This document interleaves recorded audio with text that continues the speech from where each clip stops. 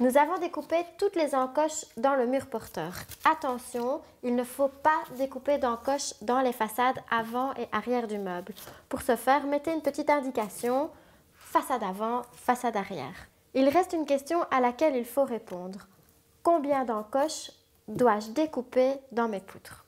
Si vous avez un mur porteur, chaque poutre comportera une encoche qui se situera au centre de la poutre, de manière à l'emboîter comme ceci. Si vous aviez plusieurs murs porteurs, par exemple deux, de cette manière,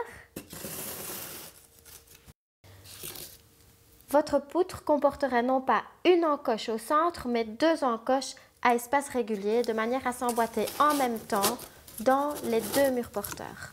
Rappelez-vous, je vous avais conseillé de ne pas rapprocher les façades à moins de 5 cm. La raison est la suivante. Si vous rapprochez deux façades à moins de 5 cm, cela signifie que vous allez devoir faire des encoches extrêmement rapprochées, comme ceci par exemple. Et dans ce cas, les poutres deviennent extrêmement fragiles. Et maintenant, si nous le mettions debout ce meuble